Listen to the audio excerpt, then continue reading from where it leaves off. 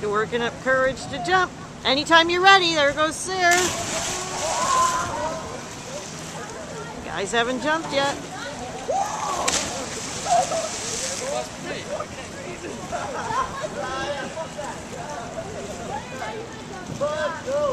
I can't get around and get the other people because Frederick hasn't jumped.